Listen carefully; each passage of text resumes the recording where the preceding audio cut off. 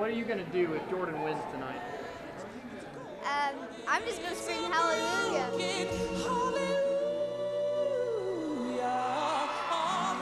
Well, we drove about seven hours from Statesboro, Georgia, uh, near Savannah. Seeing is deceiving, dreaming is believing. It's okay not to be okay. I've been here almost every night, and this is unreal. To follow your heart tell everybody excited, nervous, hoping, praying. Great is thy faithfulness.